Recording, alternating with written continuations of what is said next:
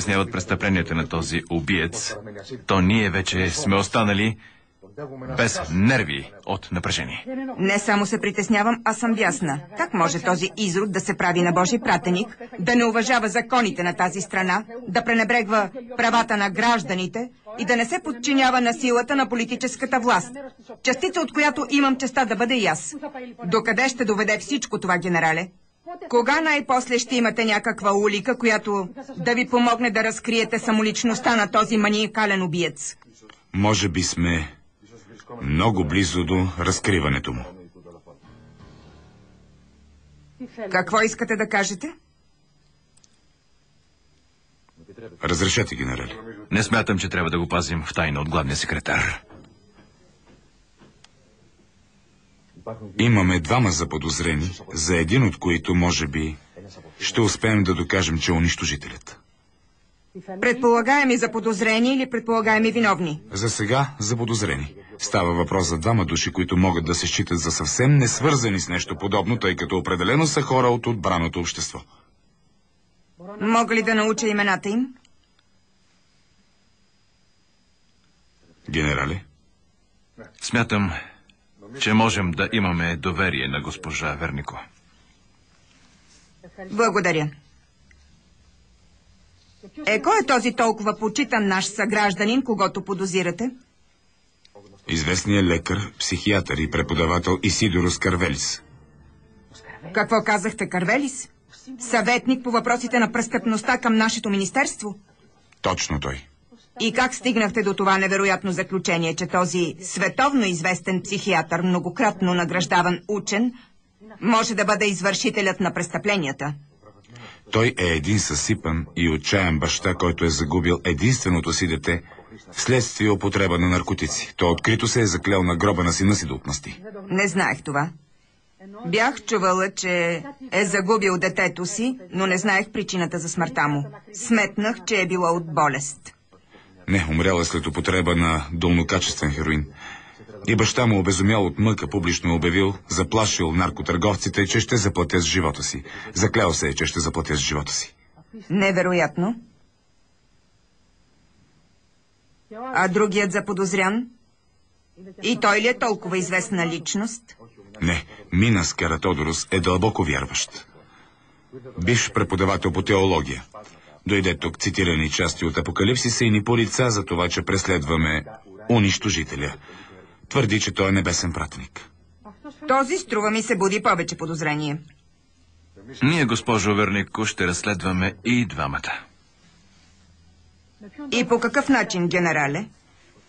Сигурно знаете, че известният лекар Константинидис се е погрижил за ранената ръка на унищожителя, пострадал унази нощ в сблъсък с полицията. Да, уведомена съм. Той се съгласи да ни сътрудничи. Ще се опита да познае гласа на похитителя. Раненият е страдал, изпитвал е силна болка и може би не е говорил с променен глас. Може би лекарът единствено е чул гласа му. Значи ще доведете тук двамата. Карвелис и другият, как му беше името? Каратодорос. Каратодорус. И след това какво ще правите? Ще ги доведем по-отделно. Ще намерим начин да ги поразгневим. Ще запишем на касета гласовете им в момент на гняв. Касетата ще прослуша господин Константинидис, както и двамата колеги, които са били с него.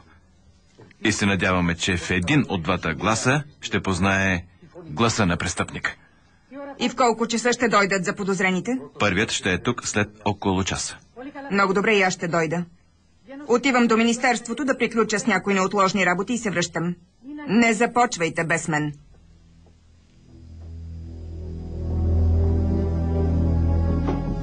Кой командва тук? Аз или тя?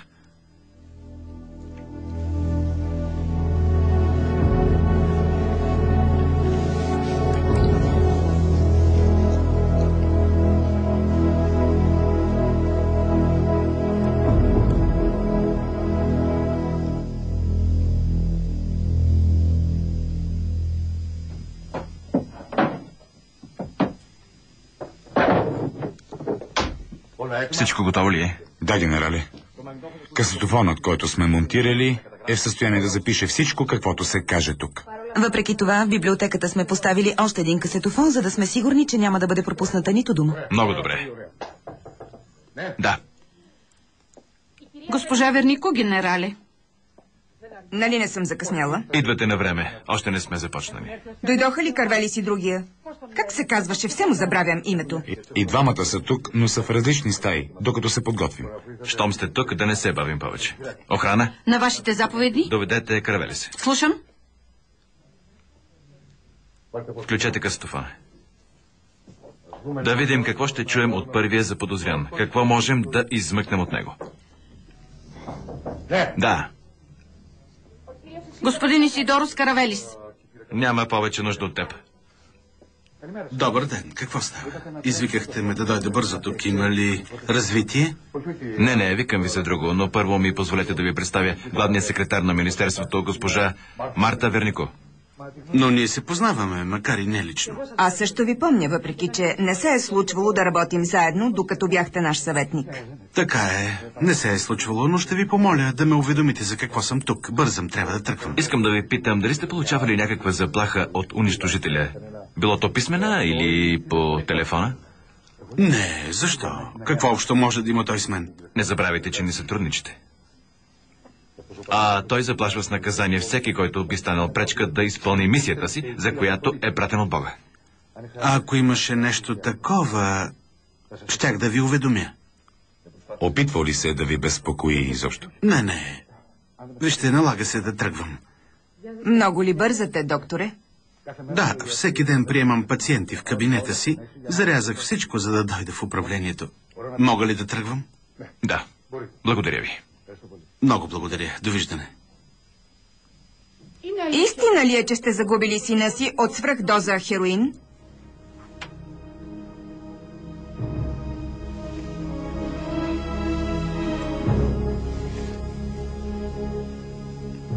Не.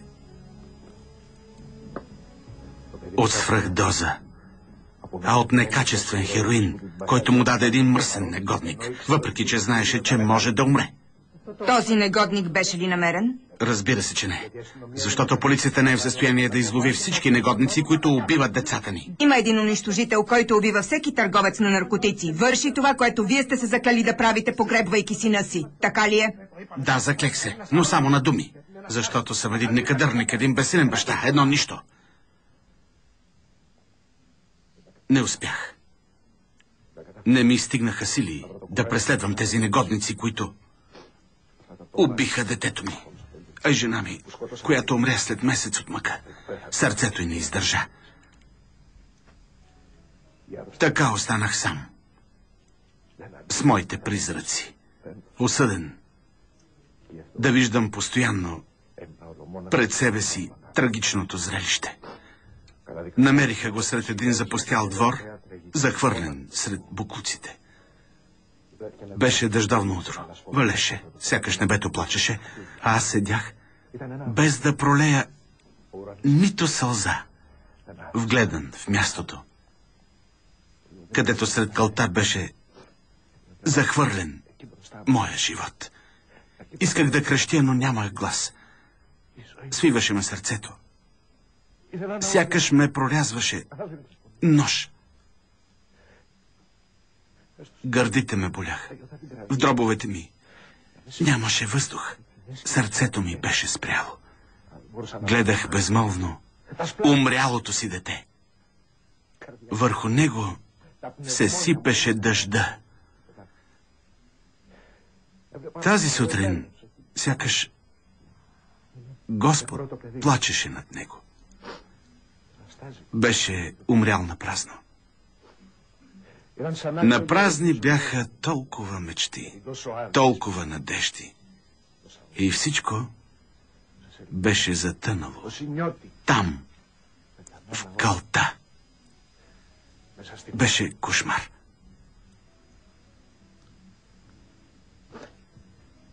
Извинете, увлякох се. Та, за какво щяхме да говорим? Разказвахте ни за вашето дете. Детето си е мое. И не искам да говоря за него с чужди. Чули?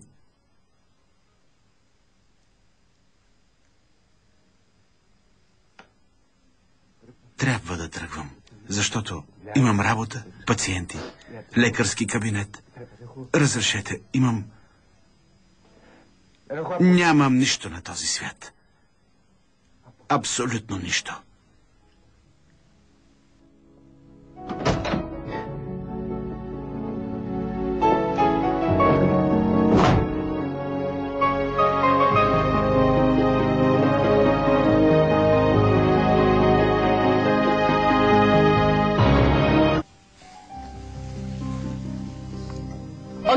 Господин Минас Каратодорос. Добър ден, господин Каратодорс. Ти си свободна. Той вярно. Защо поискахте да ме видите? Какво е станало? Може би най-сетне сте се вслушали в думите ми. Разбрали сте, че имам право. Може би полицията най-сетне е престанала да преследва Божия пратеник. Не, господин Каратодорс. Полицията ще продължи да изпълнява своите задължения. И да се бори с такива долни типове като унищожителя. Унищожителят е ангел небесен и който го хули, не почита Господа. А човек, който се явява на екрана, за да защити виновник за четири убийства, е безразсъден глупак. Не бяхте ли вие този, който вчера го защити от телевизионния екран? Да, аз бях. Сметнах за нужно да защитя този свой съгражданин. Исках най-сетне да бъде чут гласът на истината. Защото вие криете истинските послания, които отправя унищожителят. Наказанието според унищожителя е смъртта. А смъртта незначително наказание ли? Смъртта е само една врата, госпожо полицай. Врата, която води към вечния живот. Към вечния живот в рая. Или към вечния живот в ада. Истинският грешник плаща след смъртта си. И избира сам това заплащане. Унищожителят не носи отговорност за деянията си. Той служи само за ръка на правосъдието, раздавано от Бога. Това прави той. Знаете ли, че тези ваши думи могат да ви изправят пред прокурора? Безумие е да защитавате един престъпник, един луд, един убиец на невинни хора. Разберете го това. Невинни хора ли? И кои са невинните? Търговците на бяла смърт, причинителите на човешка мъка, пласьорите, проститутките. Те, за които единствената стойност имат парите, а не човешкия живот. Какви фарисеи, какви лицемери сте. Защитавате тях, а преследвате пратениците на Бога. Не виждате ли, че няма да успеете? Истинският, природен и човешки закон отрича едно прогнило общество, каквото е нашето, пропито от низост, мръсотия, безчестие и жестокост. Само Божият пратеник може да спаси истински невинните и да накаже истински престъпниците, неверниците, за да открием пътя на причистването, пътя към Бога. Трябва да следваме посоката, която ни сочи ръката на унищожителя. Не го хулете. Не го преследвайте, защото настъпи големия ден. Денят на възмездието. И който се възпротиви на Божия гняв, на Божието наказание, ще бъде наказан стократно. Стократно наказан. Запомнете го, стократно ще бъде наказан. От Божията ръка. Ръката на унищожителя. Запомнете го.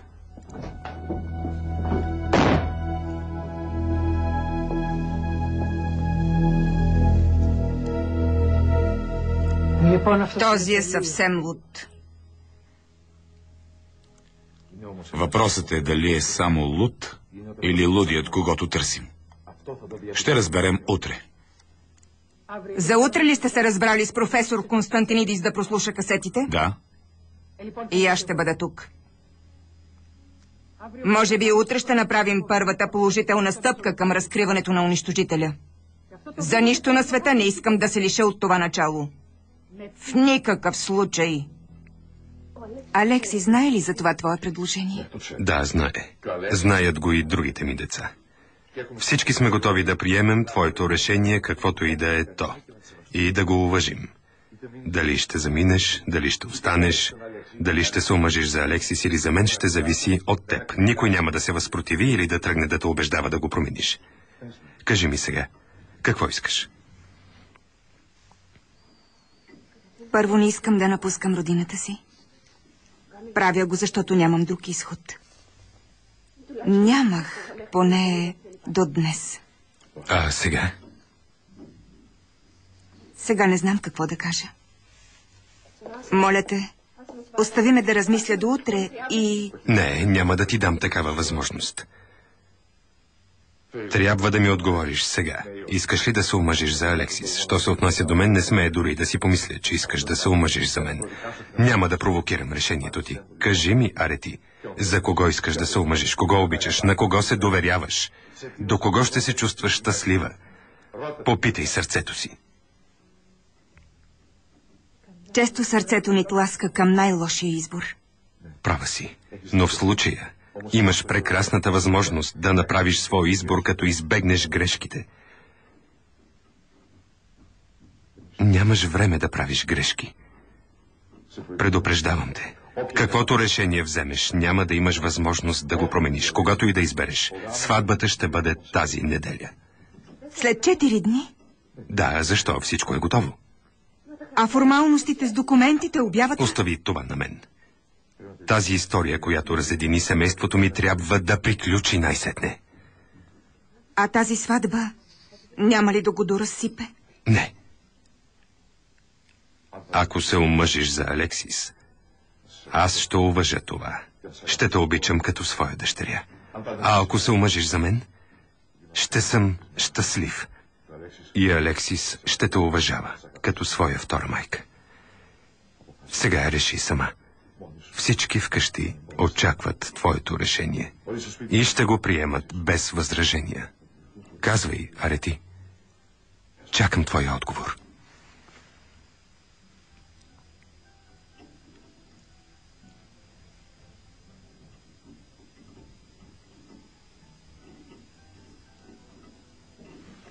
Добре, Ягос. Ще ти кажа какво искам. Както винаги ще кажа истината.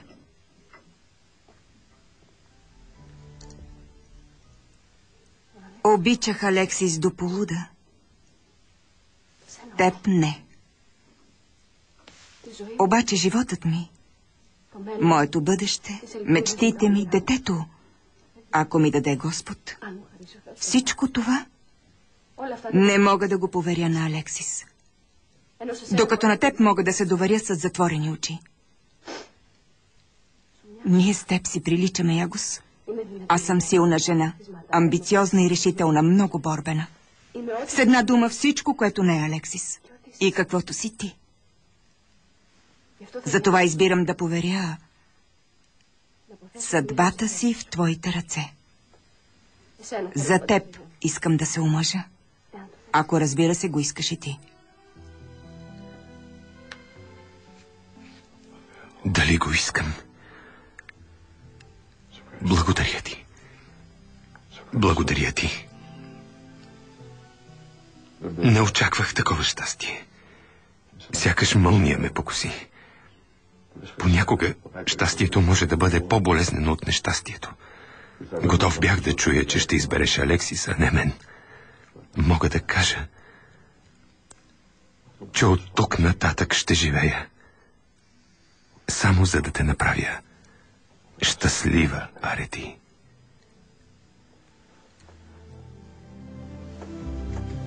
Сигурна съм, че ще ме направиш щастлива.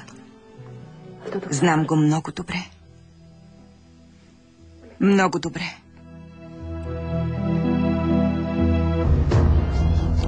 Филмът е подготвен за излъчване от екип в състав. Преводач Анета Илиева. Редактор Ралица Ботева. Тон режисьор Борис Драганов. Ролите озвучиха артистите Таня Димитрова, Силвия Русинова, Венета Зюмбюлева, Елена Русалиева, Анна Петрова, Васил Бинев, Светозар Кокаланов, Борис Черне.